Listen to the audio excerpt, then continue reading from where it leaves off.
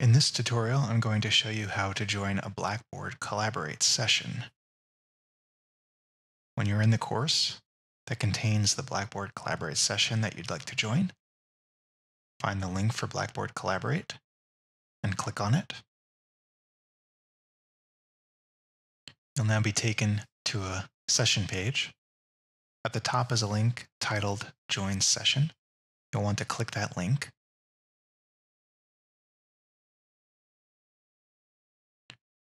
What will happen next is the session file will be downloaded to your computer.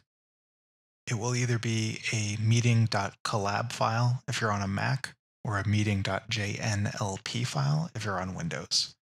Depending on your operating system and your browser, the file will download to a different location.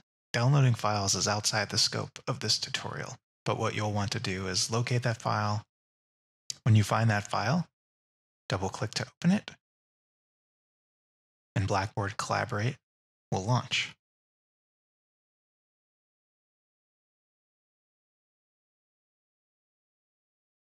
And that's how you join a Blackboard Collaborate session.